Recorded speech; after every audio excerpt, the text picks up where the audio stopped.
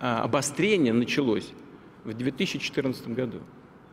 До этих пор мы, несмотря на, на, на, на то, что э, Советский Союз прекратил существование, часть исторических российских территорий с населением исторической России оказалась за пределами Российской Федерации, прежде всего на Украине. Мы же с этим смирились, нормально к этому отнеслись, более того, способствовали становлению нового государства. И работали, и готовы были работать, и работаем со всеми правительствами, какой бы внешнеполитической ориентации они не придерживались. Ну, достаточно вспомнить наши отношения с президентом Ющенко и с Тимошенко, премьер-министром, который так же, как и сегодняшнее руководство Украины, говорило о своей абсолютной э, э, прозападной ориентации. Ну, мы же с ними работали, да, спорили из-за газа, были там конфликты, э, значит, но в конце концов обо всем договорились и работали же. И готовы были и дальше работать. И никакие действия в отношении Крыма нам в голову даже не приходили. Но что произошло в 2014 году? Госпереворот, кровавый. Людей убивали и сжигали. Сейчас я не говорю там, кто, кто прав, кто виноват. Ясно, что было э, законное возмущение и неудовольствие граждан Украины по поводу того, что происходило в стране. Так действующий тогда Янукович, президент, он же, э, президент Янукович, он же э, совсем согласился. Три министра иностранных дел Польши, э, ФРГ и Франции дали гарантии мирного развития ситуации, мирного процесса. Я разговаривал тогда с президентом США по его инициативе. Он меня попросил тоже поддержать этот процесс. Все согласились. Через день, через два госпереворот. Зачем? Ответа нет. Ну зачем? Президент Янукович и так совсем согласился. Он готов был уйти хоть завтра от власти. Выборы, победа оппозиции была неминуема. Это все прекрасно понимали. Но зачем это сделали? После этого возник Крым. А как мы могли отказать Севастополю и Крыму, людям, которые там э, проживают, взять их под свою защиту и под крыло? Невозможно.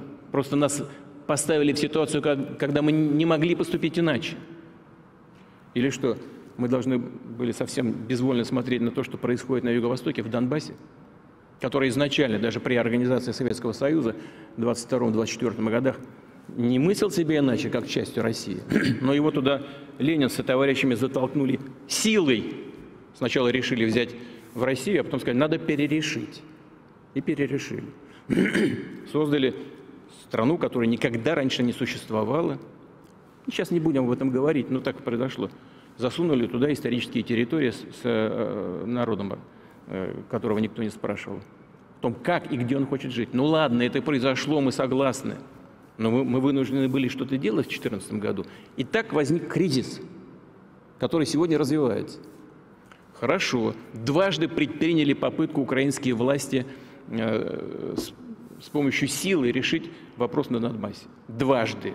Хотя уговаривали не делать этого. Я вот лично уговаривал Порошенко. Только не военные операции. Да, да. И начал. Результат. Окружение, потери и Минские соглашения – они хорошие или нет? Я считаю, что единственно возможные. Так проблема в чем? Не хотят исполнять. Но не хотят исполнять. Приняли э, закон о коренных народах. Объявили русских, проживающих на этой территории, на их собственной территории, не коренным народом. Так же, кстати, как и поляков, венгров, румын.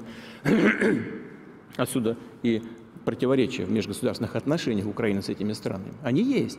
Просто не выпячивают, но они есть. Значит, потом о языке. Ну, просто выдавливают русских и русскоязычное население с их исторической территории. Вот чем, что происходит. Ну ладно. Все говорят, Россия должна исполнять Минские соглашения. Но мы согласны. Взяли, внесли э, в парламент страны, правительство внесло э, закон о переходном периоде. Ну где же там Минские соглашения? Там вместо амнистии, э, значит, запрет амнистии, чуть ли не уголовное преследование за эту амнистию. Там вместо э, выборов э, военно-административные э, управления вводятся. А вместо амнистии люстрация населения. Ну что это такое? И провели через Венецианскую комиссию. Ну как нам на это реагировать? Ну хорошо, вот это э, внутриполитическая составляющая. Теперь нам говорят война, война, война. Складывается впечатление, что, может быть, готовят третью военную операцию. И нас заранее предупреждают, не вмешивайтесь, не защищайте этих людей.